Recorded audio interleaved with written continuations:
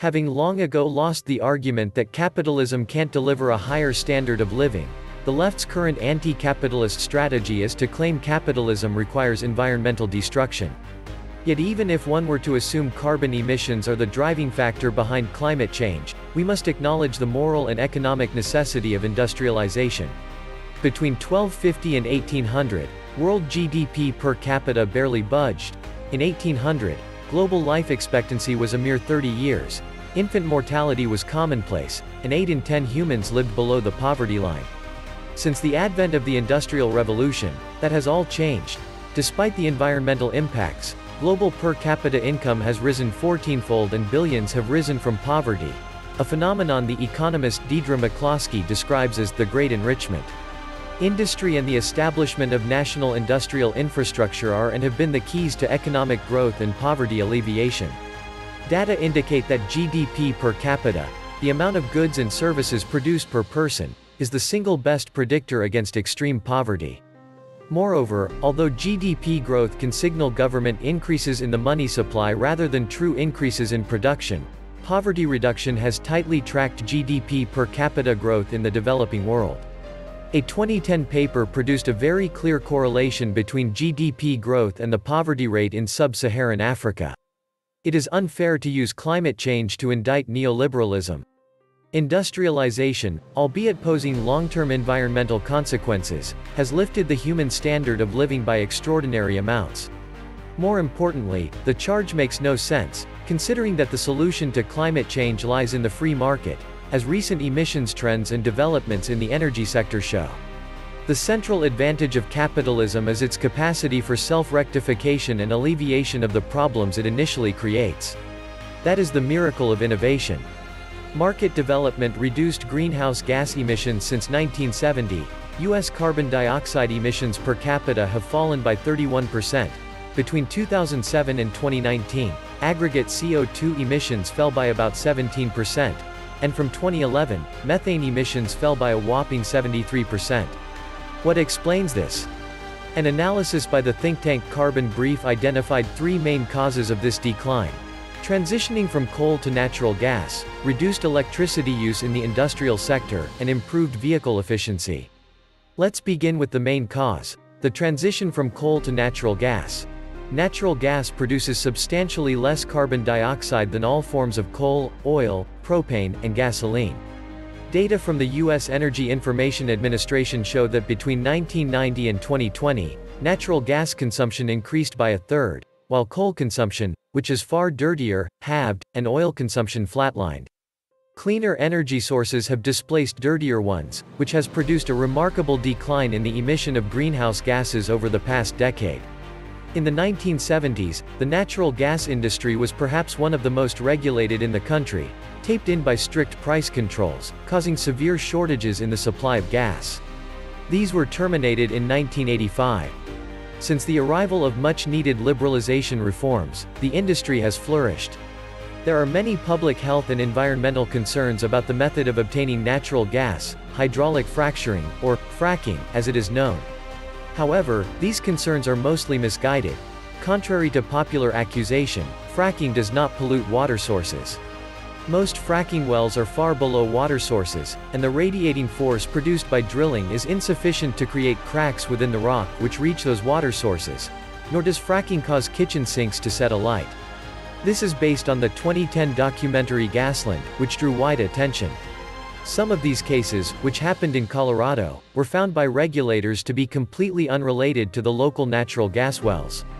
In the words of that report, Gasland incorrectly attributes several cases of water well contamination in Colorado to oil and gas development when our investigations determined that the wells in question contained biogenic methane that is not attributable to such development. Meanwhile, aside from its obvious environmental advantages, there are some considerable economic benefits to fracking. An industry which employs 3 million people, knocked 0.5 percentage points off the U.S. unemployment rate during the Great Recession and saves schools a total of $1,207 million through lower energy costs. Let's explore a second major cause of the emissions decline, reduced electricity consumption in the industrial sector. This was a happy consequence of businesses economizing on resources in order to maximize profits. Energy bills are some of the biggest costs for businesses. Any profit-seeking entity will want to keep them low. In fact, as the economists Nicholas Bloom and John Van Reenen wrote in a 2010 study, we also found that energy efficiency is strongly associated with better firm-level management, probably because good management practices, like lean manufacturing, tend to economize on energy use. Thus, it is obvious that private and environmental interests overlap in many ways. Of course, state-run companies are considerably less efficient than their private counterparts, and as a result, as the Soviet Union demonstrated, do not economize on resources and energy, with extreme pollution being a side effect. Similarly, the state-run elements of Mexico's energy grid are notorious for having higher costs and significantly lower environmental quality than Mexico's private energy companies. Let's now explore a third factor in the U.S. emission decline, improved vehicle efficiency.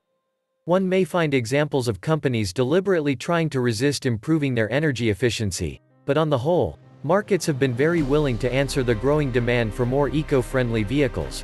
Recently, General Motors announced an extra $7 billion of investment in developing electric vehicles. It is no surprise one analysis found that electric vehicles could outsell non-electric vehicles by 2040. Furthermore, there has been significant progress in making air travel more efficient. The average aircraft today produces 80% less CO2 per seat than it did in 1950. Many attribute the decline of other emissions, such as of sulfur dioxide, to the Clean Air Act of 1970. But in fact, this decline was well underway before those regulations were put into place. Innovation for the future. The solar, wind, and nuclear energy sectors. We have transitioned to more efficient and cleaner fossil fuels such as natural gas, but they are still not free of greenhouse gas emissions. The energy sources which mostly are include wind and solar energies. While they aren't nearly as good as coal, oil, and gas, wind and solar have improved remarkably in recent decades, in the past five years alone, the efficiency of solar panels rose from 15% to 20%. Meanwhile, the capital cost of solar panels, in dollars per watt, has declined sevenfold since 1995. More encouragingly, the price of electricity from solar panels themselves declined by 89% between 2009 and 2019. Likewise, the price of electricity from onshore wind turbines dropped by 70% and the average capacity factor of wind turbines, the ratio between the actual electrical energy output and the maximum possible output over a given period, increased from 25% in 1998-99 to over 40% in 2015.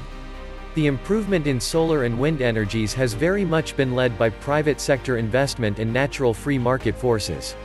For example, since 1991 the price of lithium-ion batteries, a crucial ingredient for low-carbon technologies, has diminished by 97%, due to enormous increases in supply and production. The world's solar and wind energy infrastructure has been effectively constructed, improved and modified by private companies. These companies include, Ørsted, a Danish company, with an annual income of $15.46 billion, which constructs and operates many wind farms in Europe, and has invested an extraordinary amount in bioenergy, Iberdrola, a Spanish multinational corporation which specializes in the trading of electricity from clean energy sources and earns $3.57 billion a year. Brookfield Renewable Partner, enjoying annual revenues of $3.18 billion. These are only a few of a long list of private companies which are competing to develop the best and most efficient green energy infrastructure to enable the transition to a zero-carbon economy. While there continue to be concerns about waste and safety, Nuclear energy has been an impressive private sector endeavor. Jeff Bezos announced $20 billion in venture capital to construct a nuclear power plant in Oxfordshire, Great Britain. In a recent article, The Economist reported on the company planning this construction, General Fusion. Markets are about newness. General Fusion has investigated new and unique ways of processing nuclear power, involving magnetic confinement and the creation of plasma blobs. Many will want to attribute the growth of renewable energies, such as wind and solar, to government subsidy.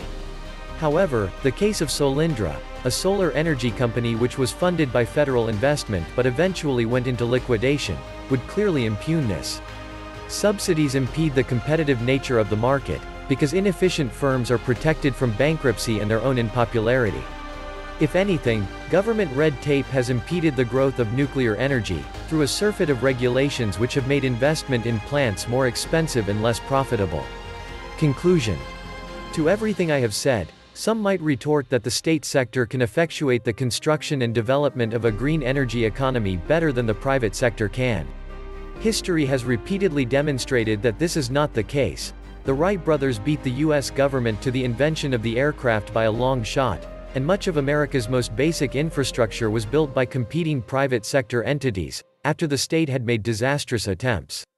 Innovation and infrastructural improvement have always been the talents of free enterprise and competition, not centralization and state oligopolism.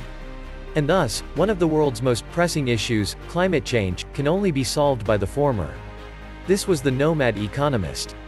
Please like, share, leave me a comment, subscribe. And please take some time to subscribe to my backup channels, I do upload videos there too. You'll find the links in the description box. You will also find a PayPal link if you want to make a donation. Thank you wholeheartedly to all those of you who have already donated. Stay safe, sane, and healthy friends.